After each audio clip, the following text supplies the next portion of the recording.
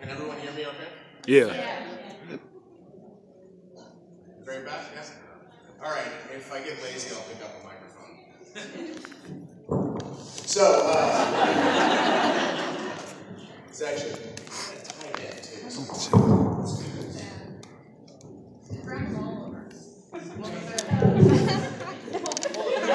Yeah, Justin Cook didn't do that. Maybe you can upstage. Okay, hi. Hey. Hello. Okay, hi, my name's Eric Vale, and you're at my Eric. Vale. Hi, Eric Vale. Huge fan. I don't know, maybe you're in the wrong panel. Oh, yeah, okay, fine. Like, like that? Okay, uh, so what's the name of this panel? I didn't even look. I don't know. Oh, it talks about stuff. Stop. Well, that's the easiest panel. Okay. So, uh, I always like to start off by figuring out who in this room does not know me or have a frame of reference for who I am or what I do. I have no frame of reference to what you do. You really don't. It's Not really. You liar. So everyone knows. Usually, there's a couple of people, and those are my favorite people because they just basically try. They're just basically you're trying to hook up. There's usually one person who's like, I don't know, and they're with somebody that they've well, I just came here because she said we should. So uh, that's not happening today. So that's interesting. Um, so as you know, I'm sorry. What? I said it almost did. I sent my husband somewhere else. Oh, where's your husband? but, us. Don't tell story. so my name's Eric Vale. I'm a voice actor. I uh, do a lot of anime and I do other stuff. I'm an actor first, so means I perform wherever anybody uh, pays me to perform. That's part of the gig of being an actor. It's fun. I like it. It's a huge, huge pain in my ass, uh, and I adore it. So it's basically like children. If you have children, any of you have children, right? Show of hands, yeah. So they're a huge pain in your ass if you love them. It's just like my job. Um, but I do love it. I get to travel. I get to go to places I love, like here, and um, and then sometimes I find myself in the middle of a week with nothing to do. I, I get surprise days off on like Tuesday or something if I didn't have any work that day. But while uh, you guys know me from all my anime work, like Dragon Ball Z and One Piece and stuff, right? Yeah. Uh, Especially when. being an actor is my job, so I'm hustling all the time. I'm auditioning every day. I auditioned yesterday at the airport before I came. Uh, so I probably won't book that job. But a lot of voiceover, a lot of on-camera stuff. Usually, usually I have a full beard, and I love my full beard so much. And the reason I look like a Miami Vice extra is because uh, last week, a couple weeks ago, I got cast in an on-camera job where they wanted me to shave. So I had to shave. And then I showed up, and they're like, "Why'd you shave?" That's what I always tell people. Like, you don't want to see what's under here. Let's just cover that up and make it look manly. So this is the Eric Vale talks about. Oh, hey, man, that's fine. Um, uh, the Eric Vale talks about stuff panel, which means I talk about stuff. Now we're going to open it up to a Q and A pretty quickly here because you know it's Friday morning and I'm tired. Um, but being that it's a talk about stuff panel, I'll answer questions about anything. It doesn't have to be anime related. It can be whatever pops into your head. If you care to know what my opinion is on something, uh, well, I'll offer it. Uh, also, I always like to say that I just blatantly stole this panel from Jerry Jewell about seven years ago. I saw, I walked in on his panel, I saw him doing that, I'm like, I want to do that. so uh, I stole it. Anyway, all right. So I'm assuming people have questions. Is that true? This guy does. Also, oh, real quick, I can't see most people because I'm not wearing my glasses. I will put them on periodically. So if I go, yes, sir, and you're uh, a woman, uh, that's I'm not trying to be offensive. I just I just can't tell. so, yes, sir. Um. What is your What is your favorite part about voicing Sanji? Oh, uh, my favorite part about voicing Sanji is when the session is over. Sanji is an incredibly difficult character to portray. Now that wasn't always the case. My and truthfully speaking, my favorite thing about voicing Sanji is I I'm a cook myself, and so I really enjoyed playing a character whose uh, whole life is about cooking. I I like that. I can identify. Um, but the thing about Sanji is that he started off kind of like Mr. Cool, and then as the episodes went on and on, he started becoming a nice one. And I, his, his energy level increased over time, and he ended up screaming a lot of his lines. So, um, people say, oh gosh, working on Dragon Ball Z must be really hard for all those power ups. Power ups are easy. If you're just screaming, you're just, ah! that's, that's easy.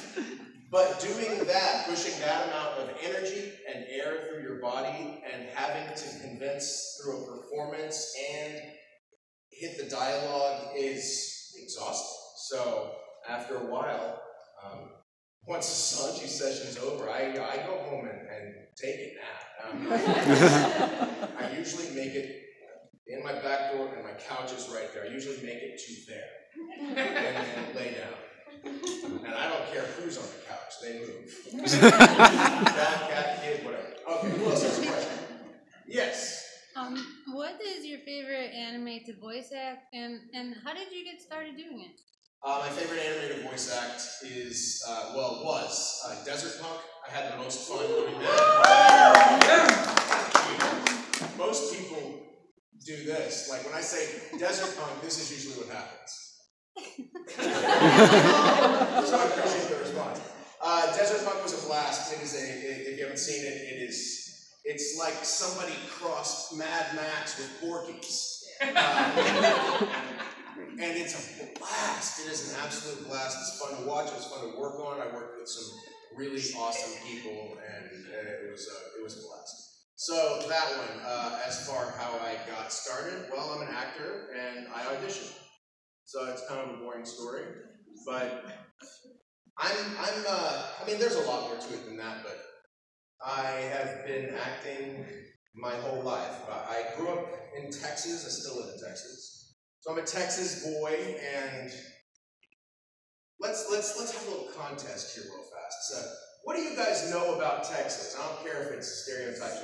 Guns. Guns? Gun what? Barbecue? Everything's big. That's it. Young, young woman. Listen to that. Cheap real estate. Like, she ain't lying, guys. Anybody over here? It's hot. Oh, come on. Houston. Fair. To you? Football. It has the longest running Okay. anime. Friday Night Lights is based on a book that is true. The, the movie and the TV series, Friday Night Lights is no joke, guys. If you live in Texas and you are a young man, you play football. Unless you're me. So my father went to Texas A&M University, and he played on the football team during the golden era.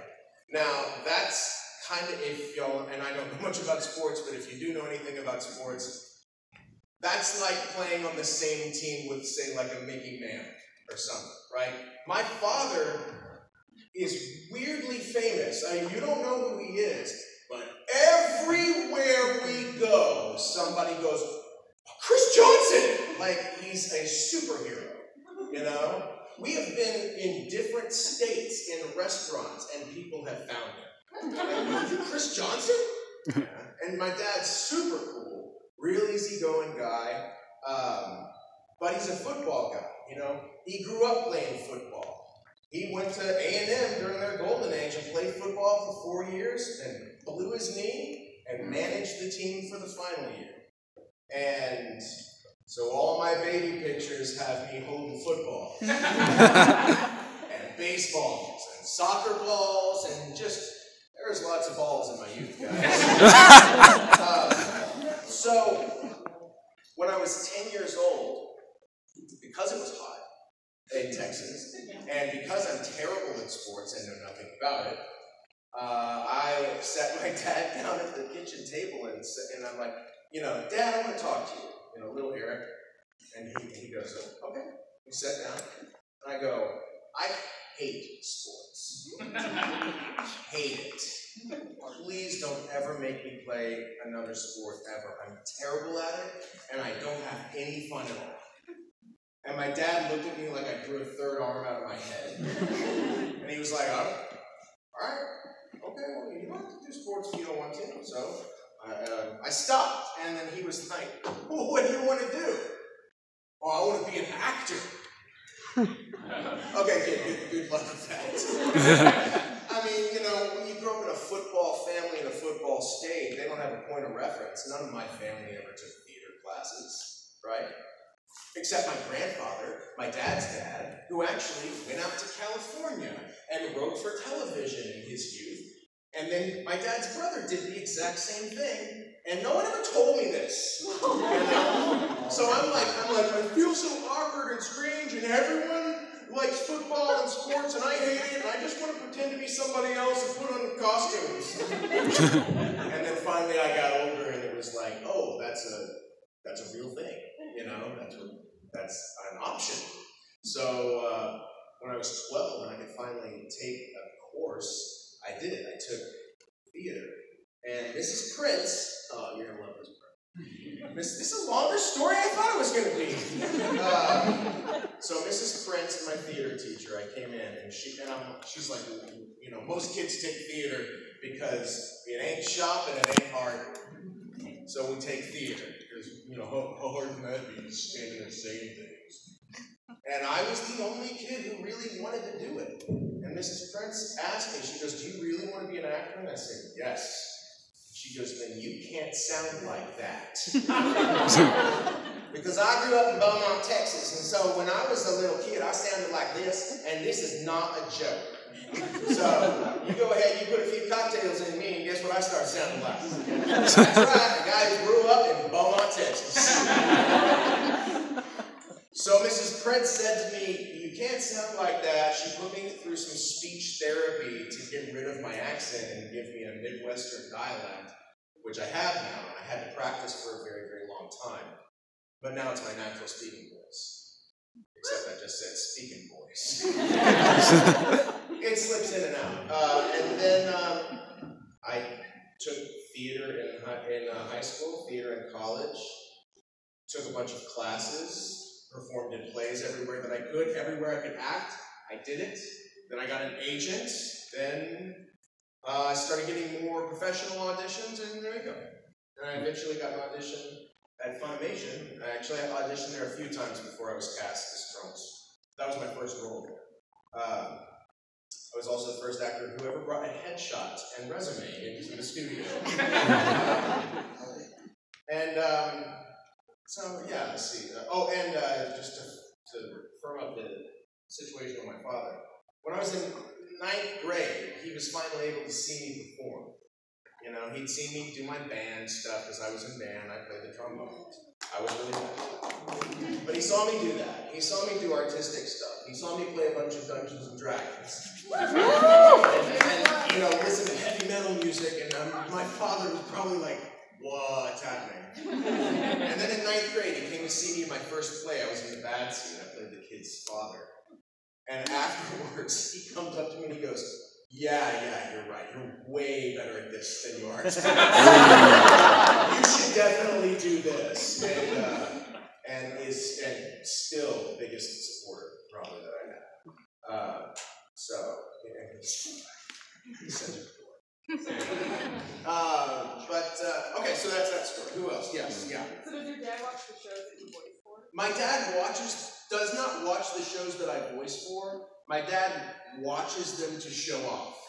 So he, he puts them on when my nieces and nephews are over and brags to them, because they don't really watch this stuff. Guess what all my nieces and nephews do?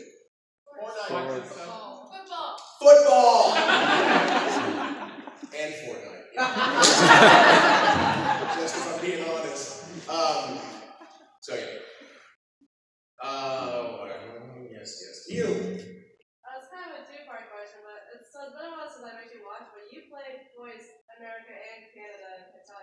I do. Can you do like a little bit of dialogue? Basically, I see you. So uh, I'm not a monkey. There's no coin slot. Guys, is, is it me or is, is there some sort of thing happening right now here at this convention where people are taking jokes? Like I run into quite, I've dropped a few jokes at people and people. This one guy earlier, man, I was. Who was at opening ceremonies?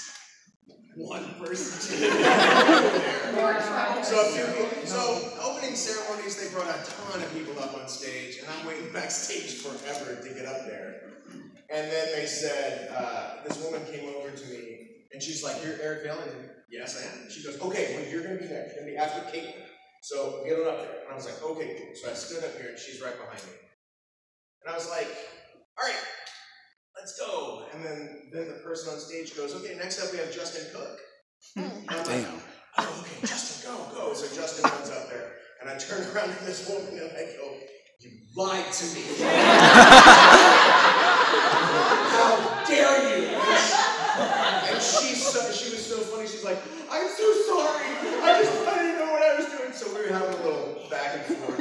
And this guy next to her goes, yeah, well, she maybe just had the wrong form up on stage. Not fault. I looked at him. I'm like, dude, Dude. Down, I was just joking, man. It's just a joke. And he's like, he's like, yeah, well, maybe I just come from a different area of production than you did. and I'm like, Did you remove the stick up good boy. uh, no, I ain't going there, man. I got my own ass to deal with. All right, so it's hard. but Let me give it a shot. Um, okay. Close our eyes.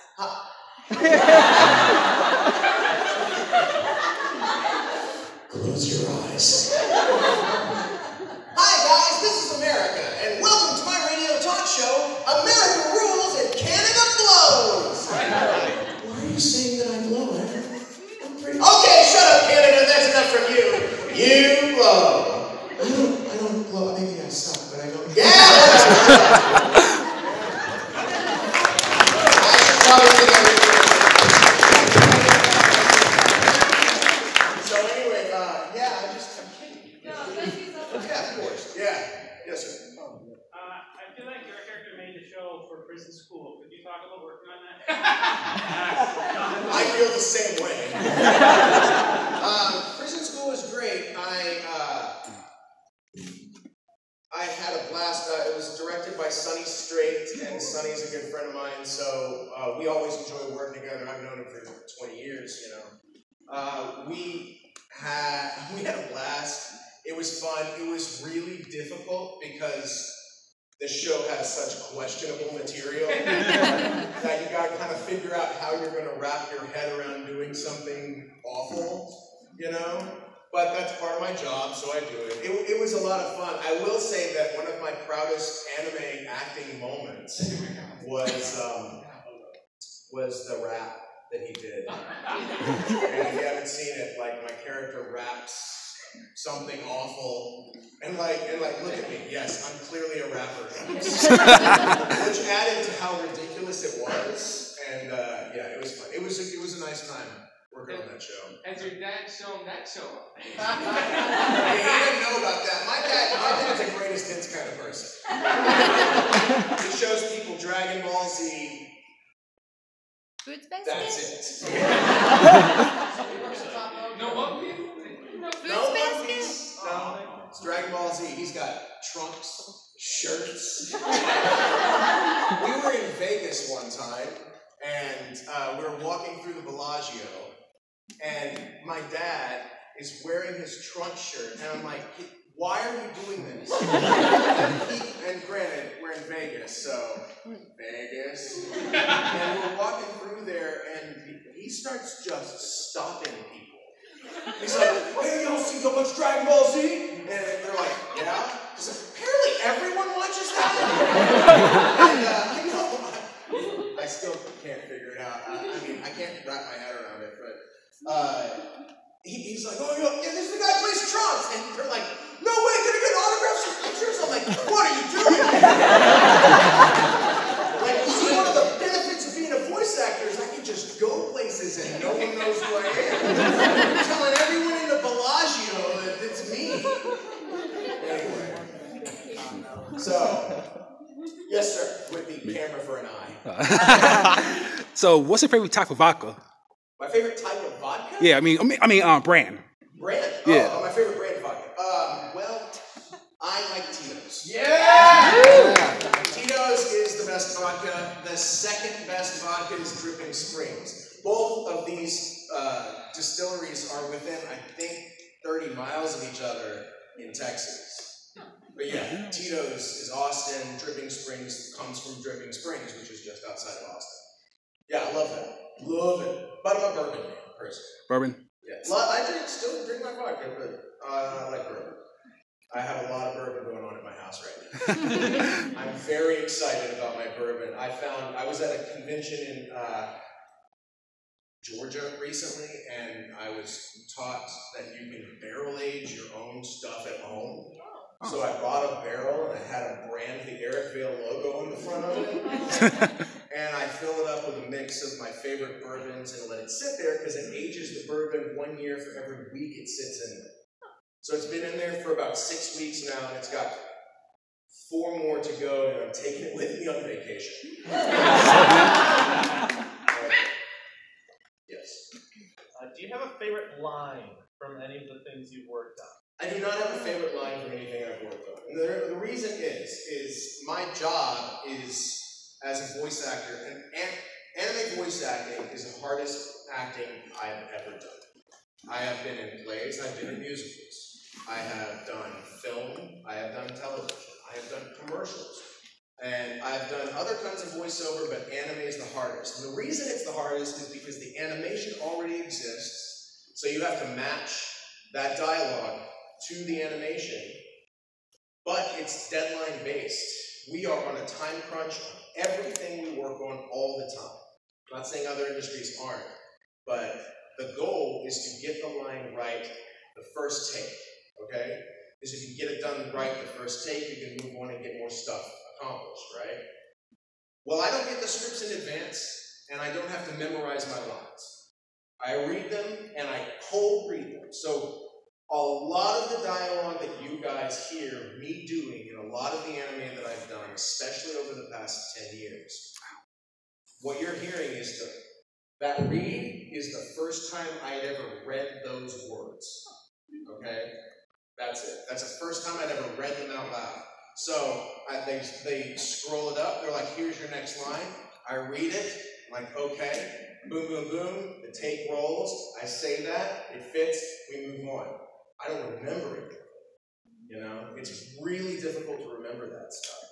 And honestly, I don't watch my work because I'm not the kind of person who likes to watch what I've done. You know, I can do it critically. I can watch my performances and things so that I know what to do or not to do next time or what I can improve. But entertainment-wise, uh, it's hard for me to watch anime because I'm, it feels like I'm at work.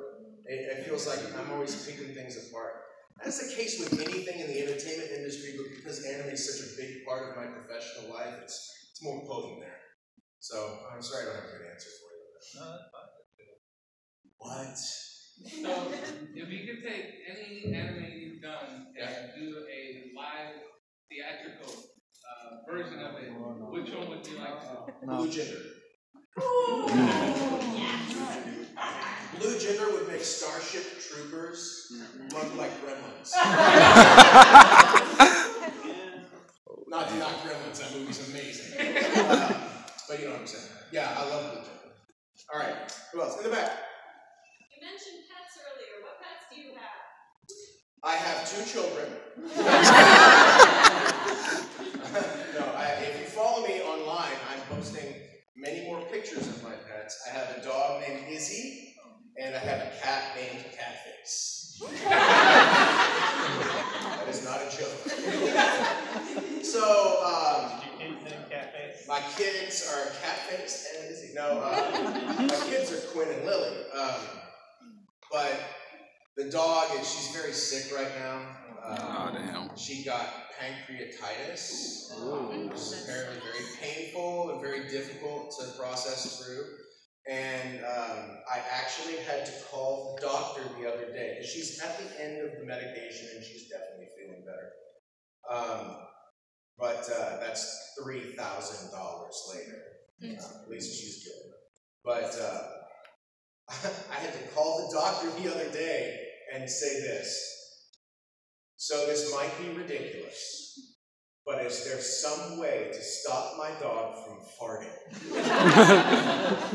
All the time. Like, for two days, we thought somebody had knocked a hard boiled egg under the couch in the front room. Like, why does it smell so? We pulled the house apart, and then we had to test it. I'm like, because the dog sticks to my wife all the time. And then we tested it. And she's like, I still smell it. I'm over here, and I'm like, I don't. It's the dog. and yeah, so she's gross. Catface was not supposed to be our cat. He uh, he was an alley cat. Literally, he was this big, and in the alley. And I'm like, I we already had a cat named Bob. He was my cat in college. He was awesome, right? And and I'm allergic to cats, guys. So I was like, look, I, I will live with Bob until the end of Bob's days because he was the best. And then after that, I was going to not get cats anymore so I could see what it was like to not feel like shit all the time. But my wife finds Catface in the alley, and there's Catface, super cute, and I'm like, "Dude, don't bring him inside, and don't name him. And she was like, fine, fine, I'll just feed him in the alley. So she feeds him in the alley, and every time she called him, she was like, you come here, come here, you little cat face, come here, come here. And then one day, Catface is in my house. I'm like, so we just got a cat and Catface, huh? I don't make a lot of decisions in my home. it's okay. Uh, well, you've asked a question, Kevin. Then I'll ask them, please join. Yeah, it's a healthy question. That's right. Slytherin sucks. Sorry. Am I? I don't know.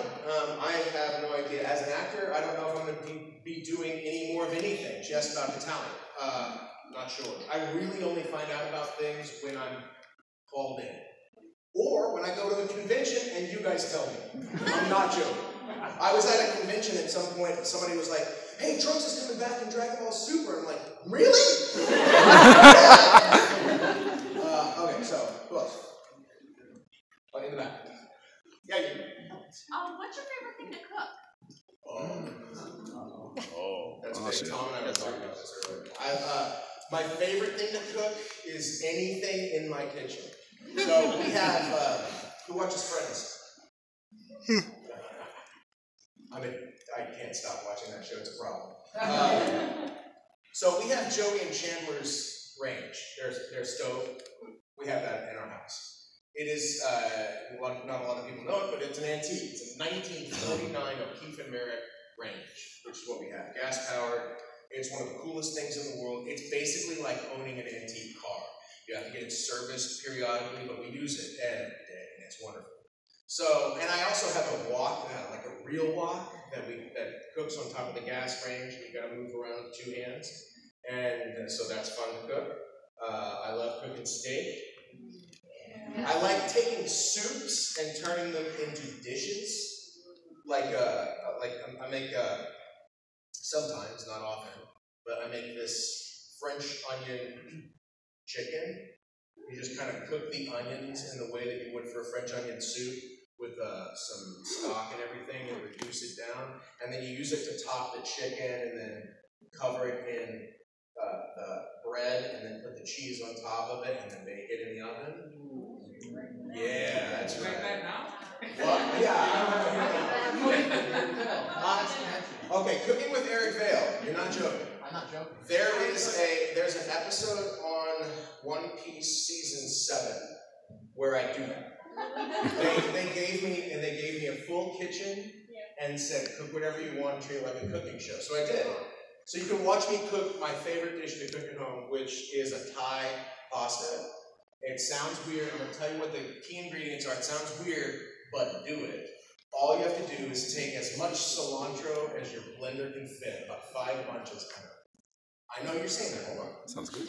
Five bunches of cilantro, stick it in the blender, and then throw some peanut butter on top of it. Okay? A little olive oil to get it mixed, and then mix it until it's a sauce, right?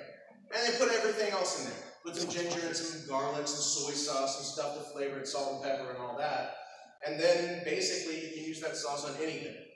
You can put it on steak, you can put it on julienne vegetables and pasta and whatever. So we do that a lot with this. Um, and that's what I did on that episode of the One Piece thing. Now, Colleen Clinkenbeard, I know Colleen plays Luffy on One Piece. She is a producer at Funimation, and she put this whole thing together because she knows how much I like to cook. And when I showed up with my stuff, she was like, crap. She hates cilantro. Hates it. And she ate her entire steak. like she afterwards she she goes, You're a magician. She's like, I hate cilantro and I tasted amazing. So give it a shot. Give it a shot. So I do that. I cook a whole lot of different things at home. It just depends on what we got, you know. I got that stuff inside. I got a great uh, we just got a pressure cooker last week and I haven't tried it out yet, so I'm looking forward to that. But anyway, those are some dishes for you. Alright, yes. Pink, I see pink hair, right? Oh, yeah. Yeah. Um, you mentioned earlier that you favorite. Did you have a favorite musical that you either been in or? Oh, uh, you know, I, I'm not a fan of. Uh, I'm not a fan of musicals like Cats. Yeah. I don't like Les Mis. Oh. I'm sorry, guys. I just, I just don't care about the French that much. I'm just kidding. Um, it's just not my kind of, it's not my kind of thing. I love Chicago. Chicago's Chicago's my kind of uh, my kind of story. You know, you get some some badass women doing some badass dancing. That's that's awesome. And my wife has has uh, played Roxie, and I got to see that, which was pretty awesome. Um, so I, I, I like that. I begrudgingly like Grease. Um, I don't want to, but I do. Um, Tell me more. Out. Um, so yeah, yeah. There's, there's, no, you can stay. You can stay. Um, that's it. I, I, lately, I find myself watching a lot of the stuff that my daughter watches are musicals, um, and I I've always known this to be true. But we did we rewatched this again as a family two three weeks ago, and the Muppet movie, the first Muppet movie is one of the best movies ever made. So my wife and I have all these conversations at home about perfect films. A, a perfect film isn't something that makes no mistakes. A perfect film is something that does exactly what it sets out to do and hits every single note and leaves you completely emotionally satisfied, right? And Muppet movie is one of those movies, man. You know, I mean, you you it's funny, you laugh, you cry. It has cameos from all your favorite people, and um, and it's just got a good heart. You know, I love that, and the songs are so much fun. So that may be at the top of the list. You know. They should do a stage version of the Muppet movie as a musical. Because Broadway, get on that, right? Anyway, maybe they have, and I just don't go to New York that much. Um, all right, who else? Somebody over here. Yes. Uh, as a voice actor, what's your opinion of simuldubs versus like a normal release? Is it a lot harder or stressful? Oh, uh, uh, simuldubs versus a DVD release. say. just right. Uh, it is a lot more stressful working on simuldubs because you have to get things done, and God forbid you get sick, um, and, and it crunches down your time. So, while that's the case, uh, I think I prefer simuldub, the simuldub world that we're in now because there's immediacy to it. There's uh, it's it's closer to something like stage. You know, it's like on stage. I get up and I like right now. I get up here, I say something, you guys respond. You laugh, you do whatever, and it's that immediate back and forth, right? Well, you work on a film, you don't get to see the audience's reaction for a long, long time. Same with everything else. But with simuldub and anime, I can find out in a week or less what people think, which also helps to inform my performance because I want to listen to what people are saying. I'm not acting for me, I'm acting for you. So if, if you're like, oh, if a whole bunch of people say, oh, his character's doing this and it shouldn't be doing that, well, I can course correct. You know, doesn't happen that often, but periodically it happens. All right, who else? Yes, in the back. What is your Patronus? Oh, my Patronus is a dolphin. Elaborate. A dolphin is a mammal. That's it just said dolphin. my, my wife's Patronus is a buzzard. She hates that. Um, I don't know how to elaborate. It just when I took the test, it just said dolphin. Why? I don't. They don't know Because I'm because I'm I'm waterproof and I can hold my breath a long time. Watch too much football. You know? Yeah, I watch too much Flipper. what? Yeah. Not so bad. You again? Really? No, it's okay. So, you said you're a Hufflepuff earlier. Do you know your Ilvermorny house? Uh-huh. no, I'm still new to this, guys. Uh, my wife, so my son is my wife's from a previous marriage, and I did not meet him until he was two. And his mom and I started dating when he was eight. Okay? So I missed the formative Harry Potter years. My my son is one of those kids who is the same age as Harry Potter. So he was the same age as Harry Potter reading the books as they went up, right? Which was really cool for him and my mom. And they read the books together, it was kind of a family thing. And then I showed up late to the game, and my first introduction to it was watching the first movie, which I'm not a huge fan of. And uh, so it kind of put me off of the books for a while. Then my daughter showed up. And, um, and when she, I don't know how that happened. and then she, uh, once she got to the age where she could dig Harry Potter, then I bought the big hardback Richard one, you know what I'm talking about? And uh, read that to her. And we've read the first three. We're waiting that a fourth one comes out in October. So that's how we're going to do it. We're going to read those together. Uh, and in between, we read garbage novels. so she, my, my daughter is uh, on the autism spectrum, and uh, she becomes very obsessive about the things that she likes, right? And she, that movie Ugly Dolls that came out, for months, that's all I heard about. Ugly Dolls. We're going to see the Ugly Dolls movie. She knows when it comes out. Here's the date. It's like May 3rd, Friday. We are going to see the Ugly Dolls movie. Like, okay, all right, we will. And so we went. And uh, speaking of musicals, the uh, it is a musical, and she knew every word to every song and sang it the whole movie. And my wife and I are like, how, how did this happen? and, and apparently they released a soundtrack a month ago, and she's been listening to it nonstop.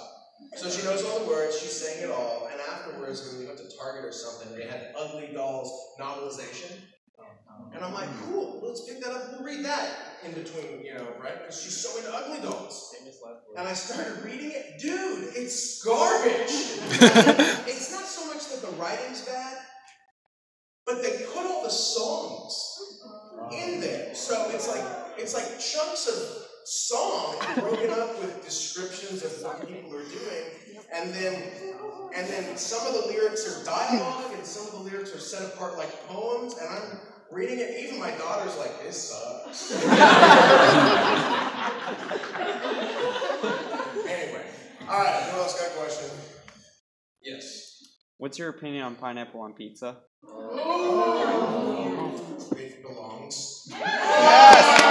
Thank you. Yes. And, and, people were like, you don't put fruit on pizza. like tomatoes, tomato sauce. You know, give me- Hey, you know what? You don't have to like it. you don't have to. You don't get to share any of my pizza then. Fuck. Fuck. What kind of All right, go- yes, it's back over there.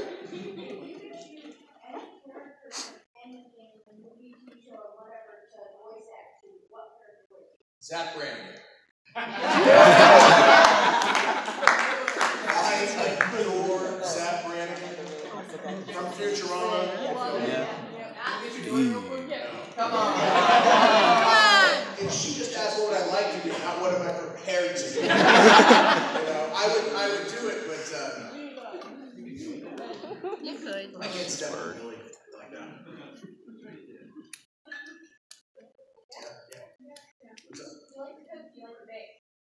Uh, I I would like to bake if I was any good at it, but I'm terrible at baking. I'm I'm kind of okay with it, um, but uh, my wife is more of the baker. My wife bakes and makes pies that are so good. And I was we were out of town. We were in Vegas for my birthday this year. Usually on my birthday, she makes me a coconut cream pie from scratch. And, and, and I've been back home for a couple of weeks now. Yeah, she grows the coconut in her I, uh, I still haven't gotten my pie. Damn. April 28th. Oh. Yeah, where's my pie? You say happy birthday, but you don't have a coconut cream pie for me. Don't do that, please. I can only I can only eat it once a year because I'm lactose intolerant and already fat. So. All right, who else? Oh wait, no, somebody back. Yes, you back. What apocalyptic scenario scares you? Oh, okay, so I actually have a very, very good answer for this. Okay, I just yesterday finished reading a book. It's gonna sound funny to you, but it's called Earthworm Gods 2. Because I had already read Earthworm Gods. right? It's I'm a I'm a big horror guy. I love horror novels, books, uh, movies, magazines, whatever. I just love this stuff. And uh, a couple of years ago, Stephen King recommended, he always puts a list of his favorite books of the year. And one of them was by an author named Brian Keene, who I was unfamiliar with. And the book was Darkness at the Edge of Town. And I'm like, okay, I looked it over and picked it up and read it, and it knocked my socks off. Um, and uh, after that, I just dove into his world, right?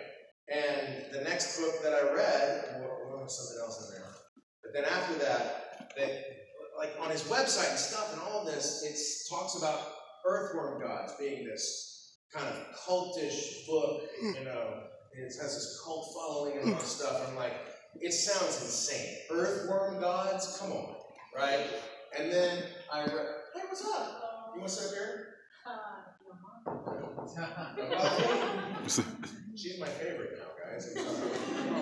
Uh, so I uh, I read Earthworm Gods, and it absolutely terrified me because of its apocalyptic scenario. And then after that, I read Earthworm Gods 2, which did the same thing but worse. So here's the scenario. It sounds weird. So it starts raining, mm-hmm. and it never stops. Mm-hmm. The whole planet, it's raining constantly. It blocks out the sun, it blocks out the moon. You can't tell day from night. And it's, again, constantly raining. Have you ever stood outside in the rain too long Mhm. where it feels like it's poking at you? You know? It's like that, and these people start losing their minds. And this one dude, the first book starts with this one guy, older guy. He wakes up in his little cabin he's lived in forever on some mountain in Kentucky, right? And when he wakes up, there's no Kentucky. The world has flooded. And it's flooded up so much that the mountain he lives on is an island in the middle of the ocean. And then the worms start coming out of the ground. And they and it's not like little earthworms. It's like earthworms the size of buses. And they, they just it just chaos and destruction. And in the middle of the book, it, like you're following these guys and like, holy crap, this is intense. And in the middle of the book, it like people, like, these old guys are trying to fight these worms, and then a helicopter flies in from nowhere and crashes on the mountain, and they pull the survivors in, and then the book tells how the survivors got there, and basically Baltimore was totally flooded, and these guys lived in the t- there was like four buildings that stuck out over the tops of the water, so it's like an ocean with just the tops of buildings. And they don't have a lot of structure because of the ocean, so they're doing this all the time. And over on that building are the guys who have resurrected uh, Behemoth and Leviathan. And they are sacrificing humans in order to do this. And then here's the normal people going, What are they doing over there? And so they fight across the tops of that. Eventually, a helicopter comes, and it's so incredibly hopeless and full of despair, and you watch these people losing their minds, and they keep going. All of them keep going, and they do the worst, most horrible things you can imagine. Like in one, this woman, she just she's sitting there talking to her best friend, and he's like, he's like, listen, I just wanted to tell you, and she just blows